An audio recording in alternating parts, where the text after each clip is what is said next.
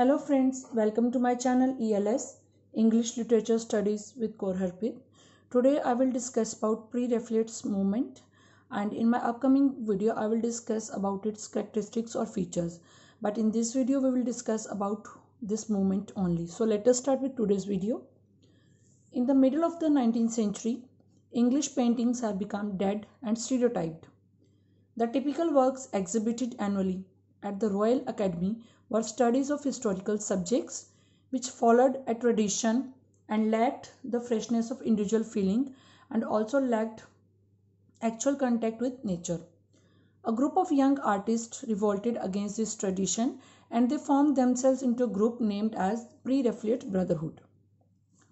A group of English painters, poets and art critics including William Rossetti, D.G. Rossetti, Holman Hunt and John Millais organized this pre-Raphaelite brotherhood. This movement was founded in London in 1848. They uh, defined themselves as a reform movement and the aim of their movement was to replace the reigning academic style of paintings by a return to truthfulness, by a return to simplicity and spirit of devotion which these artists found in Italian paintings before the time of Raphael. The ideals of these group were taken over by literary movement which included DG Rossetti himself also. This group has four declarations to express themselves as a movement and these four declarations are like this.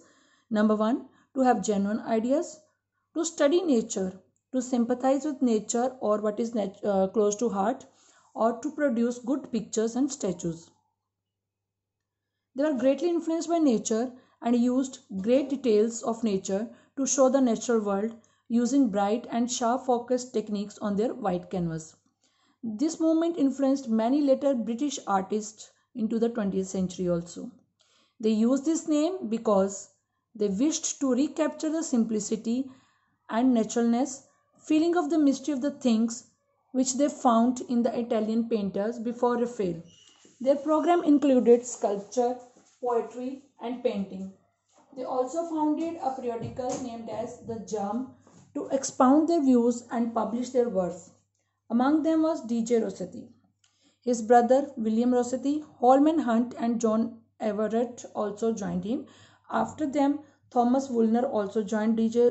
Rossetti, but its members were accused of insulting one of the world's greatest artists and of depicting venerated biblical figures as if they were ordinary people. The pre-Raphaelites felt that Raphael, with his loftiness of conception and perfection of technique, had been in a way a bad influencer as he intended to discourage originality of design and execution and execution.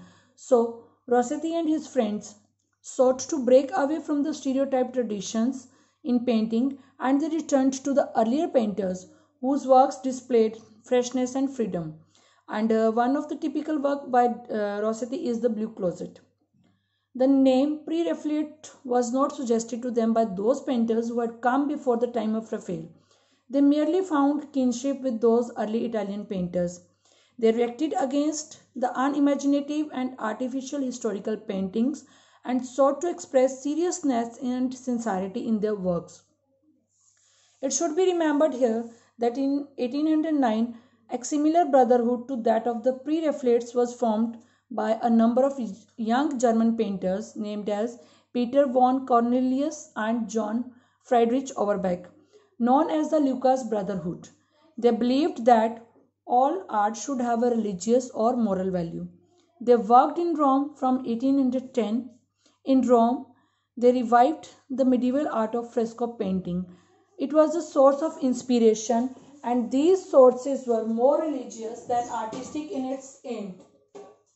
The work was not particularly impressive, and the group broke up by the late 1820s. The English pre-Raphaelites had different sources of inspiration, and these sources were mainly literary. Before discussing the features of pre-Raphaelite poetry, it will be profitable to cast a glance at the antecedents of pre-Raphaelitism. First was the work of 13th century Italian poets, which like that of the painters of the same age was marked by sensuousness, devotion to detail and realism. A kind of mysticism and love of symbolism also characterized their work. Next was Spenser, whose poetry, in its symbolism, sensuousness, and mystical overtone, is mere pre-Raphaelite poetry. Last but not the least was the poetry of 19th century, particularly Keats' poetry. Saintsbury, in the history of the 19th century English literature, considered pre-Raphaelite in a direct and legitimate development of the Romantic revival in England. Coleridge's supernaturalism, Keats' sensuousness, Shelley's mysticism, and Wordsworth's love for nature all merge into the poetry of pre-Raphaelite.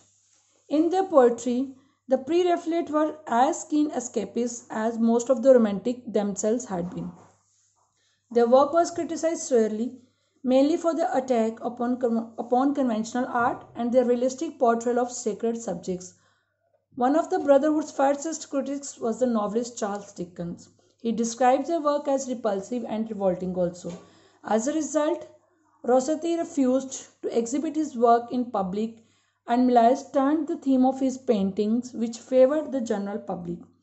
By 1854, the movement collapsed, but it took a new life in 1861 when William Morris founded a company to promote its ideal in the world of decoration and interior design. From 1870 onwards, this company proved highly successful both in Britain and on the continent. So friends, this is all about my today's video.